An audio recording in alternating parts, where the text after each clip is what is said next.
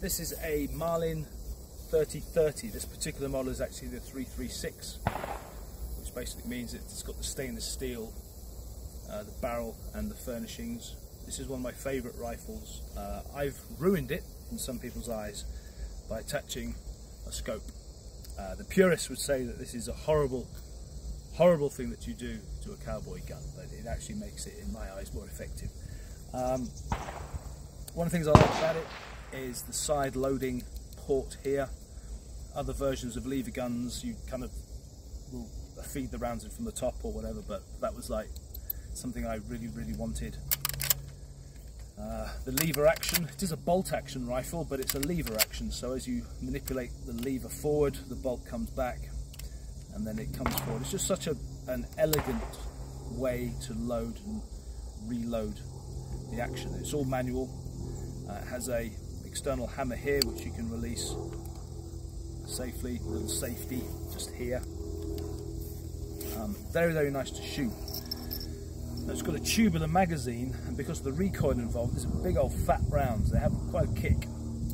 Um, they're all got some kind of flat edge or soft tip, because when they sit in the magazine, they sit like this.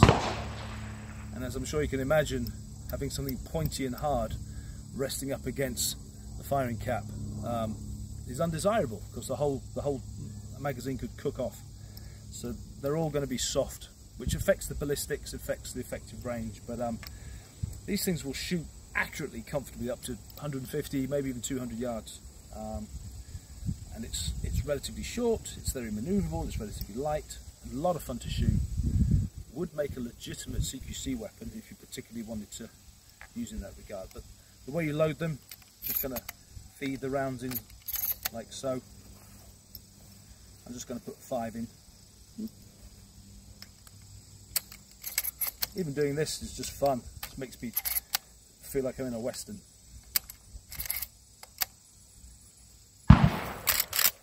Beautiful. Okay, this is how they fire.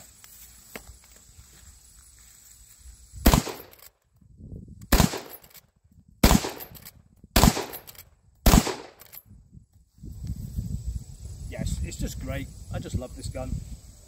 Um, yeah, so a this particular one's a Marlin 3030, the Marlin 336. If you want to have a lot of fun on the range, just enjoying shooting, this is a great option.